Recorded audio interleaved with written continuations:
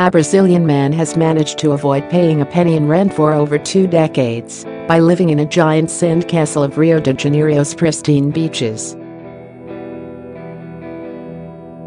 Army Sand King Marcio Mizael Matolias, 44, has spent 22 years living in a series of awe-inspiring sculptures on one Barra da Tijuca beach.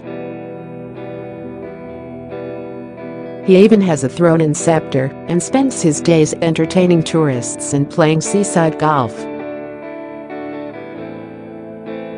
He said, I grew up in the Bay of Guanabara, I always lived on the beach. I have become a sort of tourist attraction.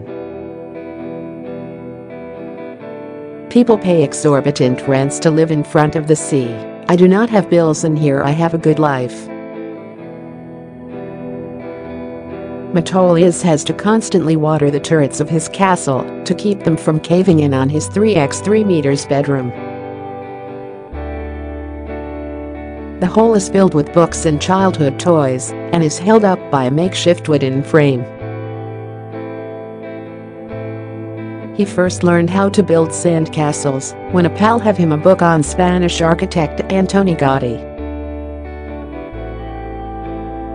Childless Matolia said there was just one drawback to his peaceful existence, the sand holds all the heat, so sometimes at night I cannot sleep here.